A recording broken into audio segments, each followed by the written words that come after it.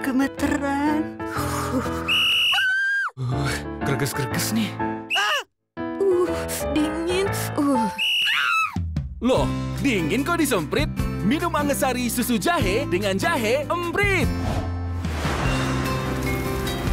Kecil jahenya, besar manfaatnya.